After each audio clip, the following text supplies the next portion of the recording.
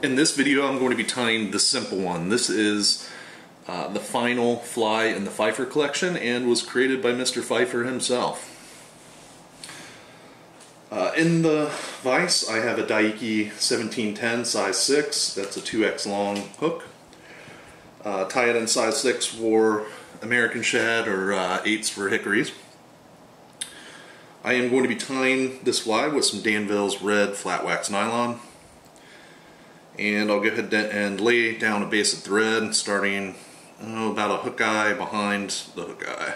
Hook eye's length behind the hook eye and uh, bring my thread down to the barb.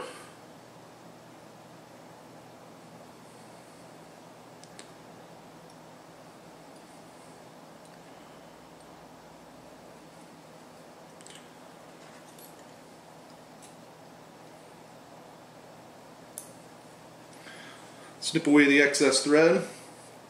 Uh, for the body I'm going to be using some silver, silver mylar tubing. Already got this cut to length. I'm going to tie it in at the butt of the fly. But I want to leave a section long enough to take it back up to our tie-in point.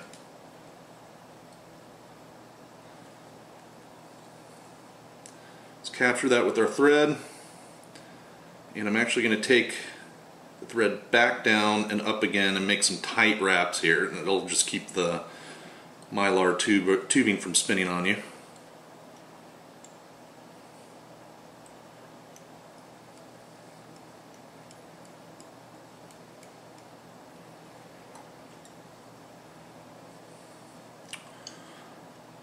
Now I'm just going to go ahead and wrap her body.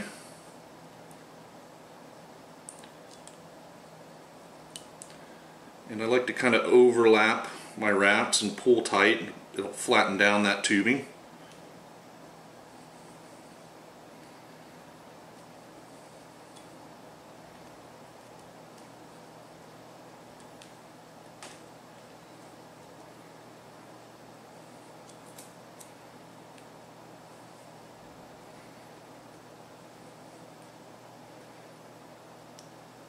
Take your time.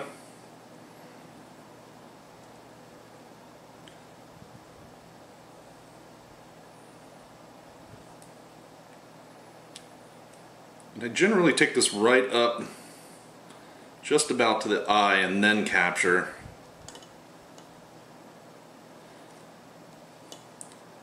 And that way it doesn't have a tendency to unwind. Some good tight wraps there. And then snip away the excess.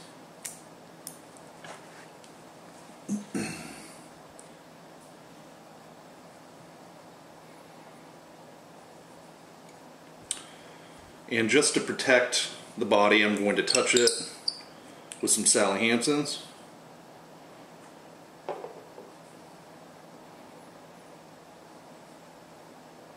And we'll let that dry. Okay, our body is dry. Have a nice, shiny, strong body. I've gone ahead and brought my thread back about uh, two eye lengths back from the eye. For the wing we're going to be using some white kiptail and you want something uh, decent uh, length. And you want a pretty good sized clump of this. Something about like that. Just going to cut a section out. And I'm going to pull out the fluff, but unlike uh, most of the time when I'm tying kiptail, uh, time with kiptail, I'm not going to grab it by the tips and pull out any of the shorter uh, hairs. What we want to do is instead of just stacking this on the uh, on the on the top of the fly, we actually want to let it roll around the hook shank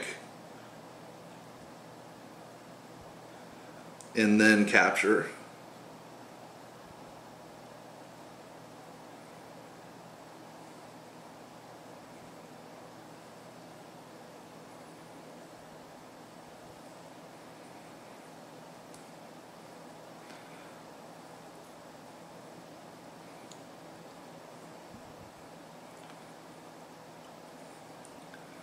Go ahead and advance our thread some. And then I'm just going to cut away all the excess.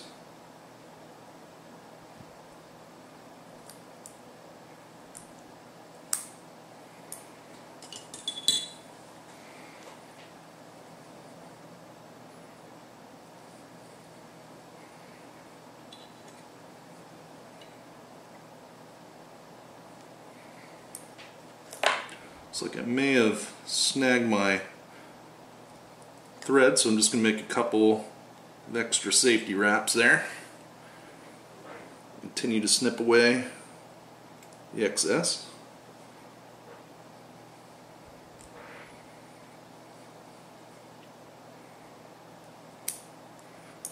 It's pretty good. So then I'll just build up the rest of the head here.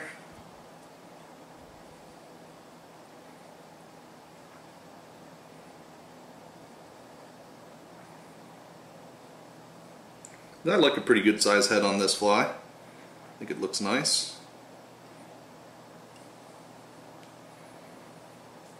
And then I'll wet finish.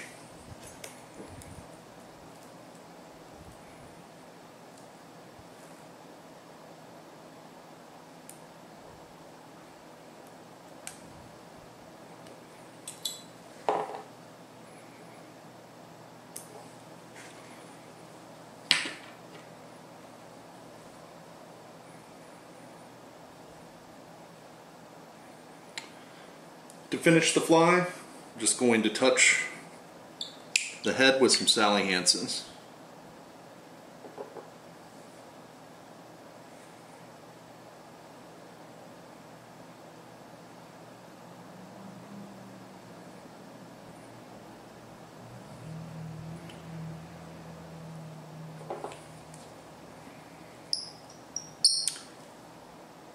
And that is Pfeiffer's The Simple One.